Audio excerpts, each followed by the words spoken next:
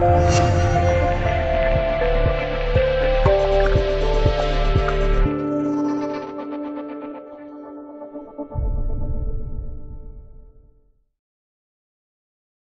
洲不仅贫穷落后，而且还有许多令人瞠目结舌的习俗。在非洲，每年都有许多小孩被当作巫童。原本应该有一个快乐童年的孩子，被当成巫童后，就会被自己的父母抛弃街头，甚至是处死。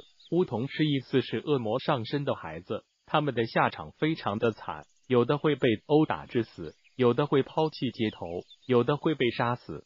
照片中的小男孩名叫希望，他被家人指控为巫童后，被抛弃在了街头八个月，靠吃垃圾为生。